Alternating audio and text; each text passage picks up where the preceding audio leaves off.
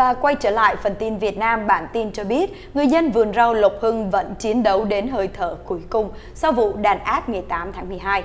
Ba người dân của vườn rau Lộc Hưng đã bị câu lưu ngày 8 tháng 12 đã nói với Đài Á Châu tự do rằng họ sẽ tiếp tục chiến đấu đến hơi thở cuối cùng một ngày sau vụ đàn áp dã man xảy ra trong lúc bà con dựng hàng đá Noel. Người dân vườn rau Lộc Hưng ngày 8 tháng 12 lên tiếng tố cáo chính quyền phường 6 quận Tân Bình đã huy động công an, an ninh mặc thường phục và dân quân đến vùng đất cưỡng chế để cản trở bà con dựng hàng đá Noel, đập phá tượng Đức Mẹ và bắt giữ ba người phản đối. Người dân cho rằng đây là hành động vi phạm quyền tự do tôn giáo của người dân. Vườn rau Lộc Hưng là khu đất đã bị chính quyền địa phương cưỡng chế vào tháng Giêng vừa qua với mục đích là để xây dựng trường học theo thông báo của chính quyền quận Tân Bình. Tuy nhiên, người dân địa phương không đồng ý với quyết định cưỡng chế này và đã đưa đơn kiện lên chính quyền thành phố và trung ương. Vụ cưỡng chế đất đã gặp nhiều phản ứng ở trong nước và quốc tế. Dân biểu châu Âu vào đầu năm nay cũng đề cập đến vụ cưỡng chế ở vườn rau Lộc Hưng khi nói đến tình hình vi phạm nhân quyền ở Việt Nam.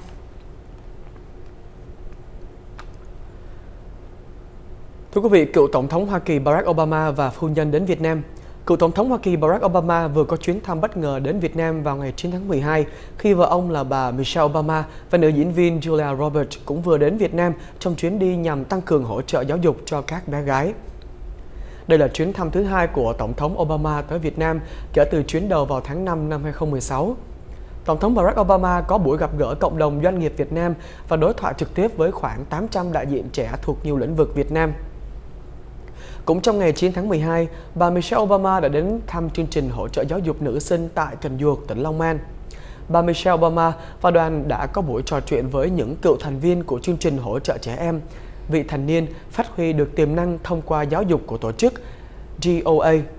Trước đó, Quỹ Obama Foundation cho biết, cựu đệ nhất phu nhân Hoa Kỳ đã quyên góp được hơn 500.000 Mỹ Kim để hỗ trợ em gái vị thành niên trên toàn thế giới thông qua tổ chức GOA. Đây là số tiền thu được từ tác phẩm Becoming trong hai năm 2018 và 2019.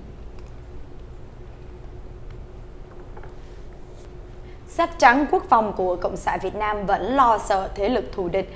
Bản sách trắng quốc phòng, Cộng sản Việt Nam công bố vào thứ Hai 25 tháng 11 được nhìn thấy có chủ đích, chính yếu lên án Bắc Kinh dù không chỉ đích danh. Không phải chỉ có một kẻ thù bên cạnh đó người ta vẫn thấy Hà Nội còn có mối lo khác chính là các thế lực thù địch ở nước ngoài phối hợp với các phần tử phản động ở trong nước luôn rình cơ hội được cho là lật đổ chế độ. Điều này được nói đi nói lại nhiều chỗ trong bản sách trắng quốc phòng Cộng sản Việt Nam. Những năm gần đây, Cộng sản Việt Nam thúc ép các công ty Google, Facebook xóa những clip hoặc thông tin độc hại mà những người dân Việt Nam đã đăng lên. Chế độ Hà Nội cũng lập những tổ chức đánh phá ngăn chặn và bắt bỏ tù những người lên tiếng. Và chuyển sang bản tin người Việt hải ngoại, thưa quý vị, San Jose, California tổ chức kỷ niệm 71 năm Ngày Quốc tế Nhân quyền 10 tháng 12. Vào lúc 1 giờ chiều Chủ nhật ngày 8 tháng 12, đại diện chính quyền các cấp từ quận hè Santa Clara đến hội đồng thành phố San Jose và cùng đông đảo quý hội đoàn đã có mặt tại tiền đình quận hè Santa Clara thuộc thành phố San Jose để cùng nhau tham dự buổi lễ kỷ niệm 71 năm Ngày Quốc tế Nhân quyền được tổ chức bởi cộng đồng người Việt quốc gia tị nạn Cộng sản Bắc California, cùng phối hợp với những cộng đồng Á Châu.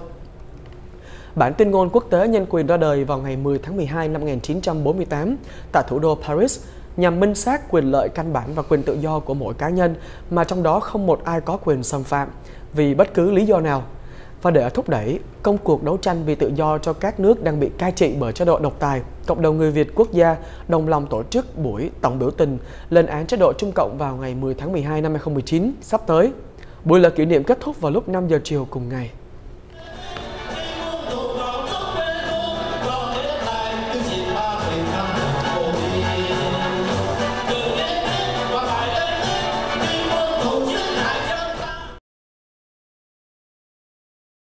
Bản tin đời sống nối tiếp cho biết lâu đài cổ của Pháp được bán cho hàng ngàn người dân đồng sở hữu. Trong phần lớn thời gian của năm, Willy Nanlohi, một nhân viên ngân hàng đã nghỉ hưu 62 tuổi, sống cùng vợ là Hilda trong một ngôi nhà tiện nghi nhưng không đáng chú ý lắm tại thành phố Enstende của Hà Lan. Nhưng vào tối thứ Bảy ngày 7 tháng 12, cặp đôi đã có một đêm với tư cách là chủ sở hữu của một lâu đài cổ tích của Pháp có từ thế kỷ thứ 13 đó là một giấc mơ thời thơ ấu. Đó chính là những chia sẻ mà Anand Lohi đã nói. Tuy nhiên, quyền sở hữu của họ cũng được chia sẻ với 25.000 người đã tham gia một chiến dịch tài trợ gọi là đám đông sáng tạo và lâu đài thực ra đã bị xuống cấp và không thể ở được. Tuy thế, là Lohi và 350 người đồng sở hữu khác đã có một bữa tiệc trước Giáng sinh trong khuôn viên. Được xây dựng vào thế kỷ 13 thì Moti Chandinius nổi tiếng một thời từng bị lửa cháy phá hủy nội thất và mái nhà năm 1932 và kể từ đó lâu đài bị bỏ hoang với cây mọc bên trong lâu đài. Chuyển sang phần tin giải trí, thưa quý vị, Steve Harvey bị chỉ trích sau chung kết Miss Universe. Thưa quý vị, MC Steve Harvey bị khán giả chỉ trích khi công bố nhầm thí sinh đoạt giải trang phục dân tộc và dùng tiếng lóng ở chung kết Miss Universe 2019 vừa qua. Theo EW, khán giả bất bình vì MC kỳ cựu lại công bố nhầm kết quả trong chung kết Hoa hậu Hoàn vũ tại Atlanta, Hoa Kỳ sáng ngày 9 tháng 12. Ông tuyên bố Philippines nhận giải trang phục dân tộc khi đứng cạnh thí sinh Malaysia trên sân khấu. Harvey không nhận ra ông bị nhầm đến khi Swata Sekon, người đẹp Malaysia, mượn micro của ông để đến chính. Trước đó, khi công bố Hoa hậu Colombia vào top 20, Steve Harvey dơ tờ giấy ghi tên quốc gia của thí sinh và đùa đánh vần từng chữ, nói bản thân không lừa khán giả như năm 2015. Gabriela Taffer, đại diện Colombia năm nay, đùa cô và mọi người đã tha thứ sai lầm trước đây của ông.